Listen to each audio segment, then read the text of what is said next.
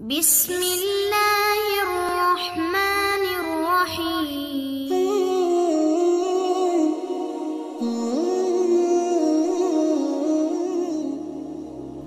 ശരീഅത്തിലും ത്വരീഖത്തിലും വ്യാജന്മാരുണ്ട് ഔഷധ ചെടികൾക്കിടയിൽ വിഷപ്പുല്ലുകൾ കണ്ടേക്കാം പക്ഷേ വിഷപ്പുല്ലുകൾ പറിച്ചു കളയുന്നവർ ജാഗ്രതയോടെയാവണം ചെയ്യേണ്ടത് അല്ലാത്ത പക്ഷം അമൂല്യ ഔഷധ സസ്യങ്ങളും പറിച്ചു കളയാൻ ഇടവരും മഷായഖന്മാരെ അന്വേഷിക്കുന്നതിനെ തൊട്ട് ജനങ്ങളെ വഴിതെറ്റിക്കാനായി ചിലർ പറയുന്ന മറ്റൊരു ന്യായമാണ് മുറബി പരസ്യപ്പെടാൻ പാടില്ല.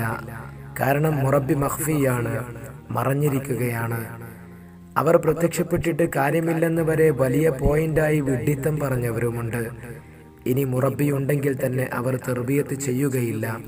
എണ്ണൂറ്റി ഇരുപത്തിനാലിന് ശേഷം കാമിലായ മുറബി ഉണ്ടാവുകയില്ല. ഇങ്ങനെ പോകുന്നു ഇവരുടെ അബദ്ധവാദങ്ങൾ. ഇത്തരം പരാമർശങ്ങൾ പ്രമാണബദ്ധമായി ചർച്ച ചെയ്യുമ്പോൾ ധാരണ പിശക് പലതും തിരുത്താനാകുമെന്നത് സത്യമാണ്. മഹാനായ ഇബ്നു ഹജറിൽ ഹൈത്തമി റളിയല്ലാഹു അടക്കമുള്ള നിരവധി പണ്ഡിത മഹത്തുക്കളുള്ള മക്കയിലെ ഒരു മൗലിദ് സദസ്സിൽ വെച്ച് സദസ്യരെ സാക്ഷി നിർത്തിയാണ് ഇമാം ഷഹറാൻ റളിയല്ലാഹു തങ്ങൾക്ക് തന്റെ ഷെയ്ഖ് മുഹമ്മദ് ഷനാവി റളിയല്ലാഹു തെറുബിയത്ത് ചെയ്യാൻ അനുമതി നൽകിയത്.